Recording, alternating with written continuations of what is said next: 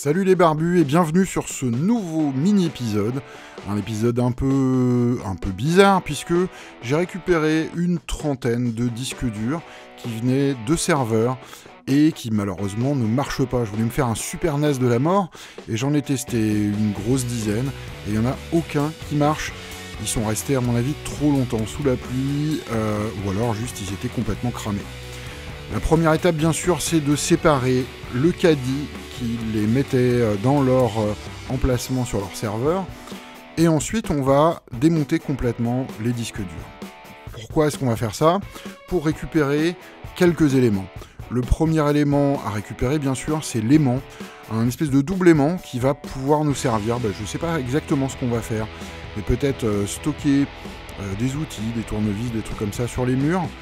Les deuxièmes éléments à récupérer, bien sûr, c'est les plateaux des disques durs, qui sont des plateaux brillants. Euh, je ne sais pas trop ce qu'on va faire avec, mais euh, je suis sûr qu'on va trouver une utilisation euh, pour ces éléments. Et le dernier élément, surtout celui qui nous intéresse, c'est en fait le châssis du disque dur qui est en aluminium. Dans quelques temps, je vais me faire, à mon avis, un fourneau pour pouvoir fondre tout ça et faire plein de trucs avec.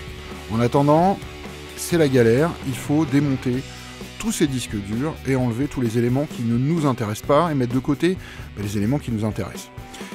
Ici, euh, pas mal de tournevis différents, deux torques différents, éventuellement un cruciforme mini.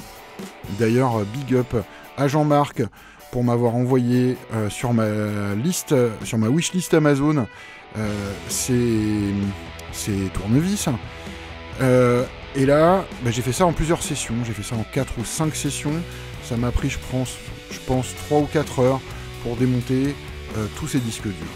Je pourrais faire un commentaire un peu plus spécial sur comment démonter un disque dur, mais c'est pas très intéressant. Il faut bien sûr ne pas oublier d'enlever tous les autocollants qui cachent en fait certaines des vis qui sont planquées. On enlève toutes les vis, on les démonte, on trouve les bons tournevis, les bons, les bons embouts pour les tournevis. Ici en l'occurrence, il y a deux torques différents et un cruciforme. Quand on a fait tout ça, eh ben, il est temps de regarder un peu tout le loot qu'on a. Là, je vais euh, ben, scotcher un peu les disques durs ensemble et surtout, je vais les peser pour savoir euh, combien m'a rapporté cette récolte euh, merveilleuse de disques durs. Alors, des disques durs, vous pouvez en trouver un peu partout. Il y en a beaucoup qui jettent ça. moi, j'ai tendance à les récupérer pour justement pouvoir récupérer l'aluminium, ce que je faisais à la campagne et ce que je recommence à faire un petit peu maintenant. Voilà donc tout ce qu'on a récupéré, euh, des plateaux euh, pour les disques durs, et je commence à peser ben, les châssis pour savoir exactement combien euh, j'ai récupéré. J'ai récupéré à, peu près, je pense, 6 kg d'aluminium. Il, va me rester bien sûr à faire tout le truc pour, pour pouvoir fondre ça, et voilà à peu près le loot. Donc, on a, on a quoi? Eh ben, on a des aimants, on a des anneaux euh, espaceurs euh, qui, à mon avis, sont aussi de l'aluminium. On a de l'aluminium et les plateaux. Donc, euh, dans très bientôt, ben, on va fondre tout ça et on va faire des trucs avec.